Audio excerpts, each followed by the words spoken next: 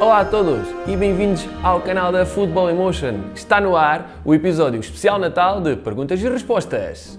Hoje é um episódio muito especial para mim, porquê? Porque sou fã, do, sou fã do Natal. Sou uma criança já grande, uma criança adulta, mas realmente sou fã do Natal. Infelizmente não estou aqui para vos distribuir nenhum presente, porque não, não fazemos nenhum giveaway, mas realmente o que vos quero pedir, sim, isso sim, continua a assistir o canal, a subscrever o canal, quem não está subscrito, que é muito importante. Quem já está subscrito, ative as notificações para as visualizações continuarem a crescer e o canal também, porque só assim é que vamos continuar a fazer mais vídeos e no próximo ano iniciar, o iniciar novamente o, o ano com novos vídeos e também giveaways para vocês, porque o que eu quero poder é retribuir toda essa ajuda que vocês me dão a mim de todas essas visualizações e comentários com giveaways, poder fazer alguma coisa é, em vosso prol. Portanto, sem mais nenhumas demoras, vamos começar então com o especial Natal de perguntas e respostas da semana e isto hoje está muito, mas muito quente.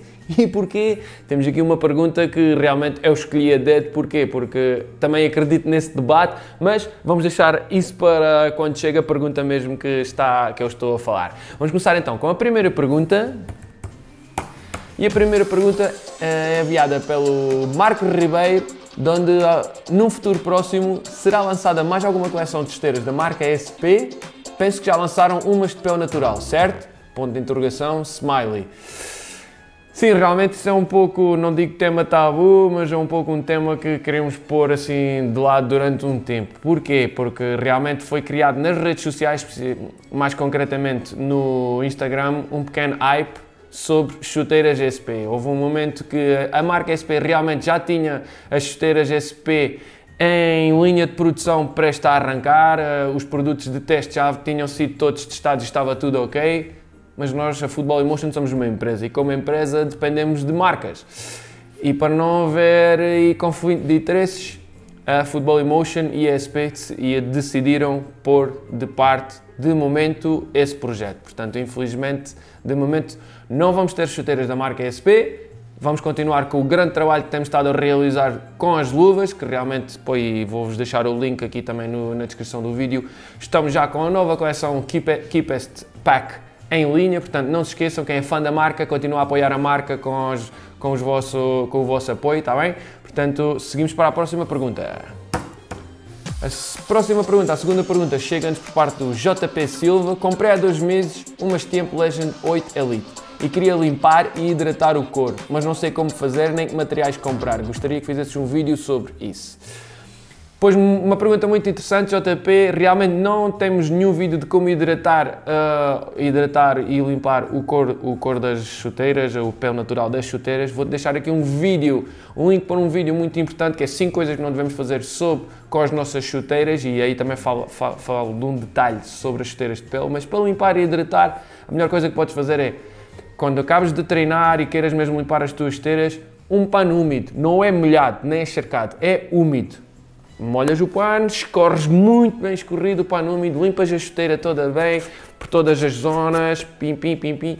Depois o que podes fazer é que na Football Emotion, e também vou deixar o link para a categoria de acessórios, tens uma cera que é para, própria para limpar a pele. Tu com um pouco apenas num pano, num pano de algodão, de algodão ou de lã, como tu queiras, um pouco apenas, passas na chuteira, bem passada, assim, como se estivesses a, a, limpar outra vez, mas não, a, a, somente assim, passas e, e aqui é muito importante, deixas a chuteira a secar à sombra e não ao sol e num lugar que passe imenso ar. E de preferência com um molde dentro. Se não tens o molde que vem de, de fábrica, esses pedaços de papelão, numa loja dos, do, do, do, do chinês ou qualquer outro tipo de loja assim desse género, poderás comprar moldes muito baratos de madeira ou de plástico para colocar dentro das chuteiras para que as chuteiras não percam a forma. E isso é para quê? Porque é uma chuteira de pele e tu se pões o molde vai fazer com que a, chuteira, a pele quando esteja a secar ao ar e não ao sol, ela fica adaptada ao molde, ou seja, nunca vai se deformar. Isso é muito importante, ok? Espero ter-te ajudado com este pequeno, esta pequena explicação. Se precisares mais alguma coisa, não hesites, comenta o vídeo que eu respondo, ok? E obrigado pela tua pergunta. Vamos então para a terceira pergunta, que nos chega a partir de o Bruno António. Se as chuteiras da Adidas 19.1 versão criança custa 100 euros e as 19.3 também custam 100 euros, significa que têm a mesma qualidade? Pois realmente não, apesar de terem o mesmo preço, não. E porquê? Chuteiras de criança são construídas de maneira completamente diferente de chuteiras de adulto. Já fiz um vídeo sobre isso onde mostro mesmo isso e até falo das Predator e também das Mercurial. Vou-vos deixar o link para isso aqui em cima também mais detalhadamente, mas realmente a única diferença é que os materiais que são usados, as propriedades tecnológicas são de qualidades diferentes, por isso também temos as diferenças do preço. Basicamente é isso, mas para teres uma melhor explicação, mesmo ao, vai mesmo ao vídeo, que eu deixei aqui o link para tu poderes ver isso, vais ficar completamente esclarecido, ok? Vamos então para a quarta pergunta que nos vem a partir de o Rodrigo Santana. Salve Rodrigo, grande abraço, grande seguidor aqui do canal. Bruno, na sua opinião, qual é a melhor chuteia Society de, de grama sintética? Puma 5.3 TT, Tempo Legend 8 Academy, Copa 19.3 ou Mizuno Classic Ash? Dá uma força aí, estou entre essas quatro chuteiras. Realmente vou-te dar uma força aí, sim, Bruno, uh, não, Rodrigo. E antes de mais, para explicar aos subscritores de Portugal, Futebol Society é o futebol de 7 que se joga em relvado sintético. No Brasil chamam Futebol Society isso, portanto é só para vocês saberem, tá bem? A nível das quatro chuteiras, se fosse eu para escolher de momento, eu realmente ficaria entre as Tempo ou as Mizuno. Porquê? Porque as, tempos, as novas tempos estão muito bem construídas, foram muito bem desenhadas. Gosto do detalhe da chuteira ter esse painel aí nesse acabamento em 3D que dá um pouco mais de grip à chuteira em si, também quando controlas, recepcionas a bola e fazes espaço ou também rematas.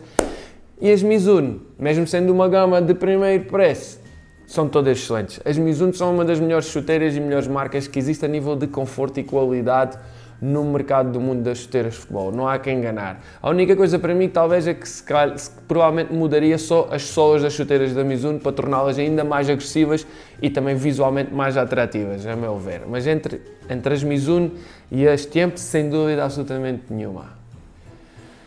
E chegamos então à quinta e última pergunta antes da pergunta vencedora da semana. E aqui é onde está o calor da semana, o debate da semana e um debate que já tem vindo a ser falado muito. E esta pergunta chega-nos através do Márcio Filipe para o próximo episódio. Quem achas que é melhor, o Fábio Silva ou o João Félix? Like para que saia no próximo episódio. Realmente teve aqui 3 ou 4 likes e realmente eh, já tive a oportunidade de gravar com o Fábio. Vocês, como viram, deixo aqui o link também para esse vídeo do, do Fast Challenges da Nikon Football Emotion.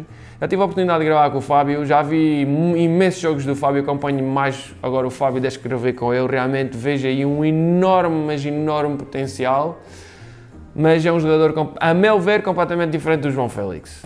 Creio que estamos a falar da futura dianteira ofensiva da seleção portuguesa dos próximos anos, Creio que serão dois jogadores que se vão complementar muito bem entre eles quando joguem para Portugal ou se joguem alguma vez juntos no mesmo clube, mas são dois jogadores diferentes. Tecnicamente muito evoluídos os dois, muito rápidos, muito bons no controle de bola, mas num frente a frente, um contra um, de momento, se tivesse que escolher um, e é porque também já está num patamar um pouco mais alto, porque também já subiu, não é, não, não quero desprestigiar a Liga Portuguesa de maneira alguma, porque adoro a Liga Portuguesa, sou português, mas a, a, o Campeonato Espanhol é mais avançado, por isso que o, o, João Félix está a ter um pouco mais, digamos, de dificuldades em impor-se o nível exibicional que teve no Benfica o ano passado, mas realmente se tivesse que escolher um, escolheria o João Félix, mas não digo que o Fábio Silva seja pior, nem de longe o Fábio Silva é um grande jogador e precisa de ficar no Porto, pelo menos este ano e um ano mais, e outro ano mais, vai crescer muito e estamos a falar de, também de dois futuros potenciais vencedores de, do Balão de Ouro, a meu ver. E chegamos então à última pergunta, à pergunta vencedora da semana, uma pergunta já repetitiva no canal, no entanto vou-vos expor para verem o porquê de que, que escolhi esta pergunta. E a pergunta vencedora chega-nos através de o Rafael Vicente, qual esteira aconselhas um lateral? Rápido, com passe razoavelmente bom e com durabilidade. Esteiras para o lateral não te aconselho nenhumas, mas agora para ti que és rápido, procuras uma esteira com, que, com um alto algo de durabilidade e também com um passo também extremamente e com, com qualidade de passe, digo-te, os Mercúrio a vapor, as Adidas X19 ou as Puma Future. Esteiras rápidas, para jogadores rápidos, para jogadores ágeis, são esteiras confortáveis, as vapor ficaram muito mais confortáveis com esta nova versão. As X com a, com a, nova forma interna também ficaram muito mais largas e adaptam-se muito melhor a qualquer tipo de pés, também são extremamente confortáveis.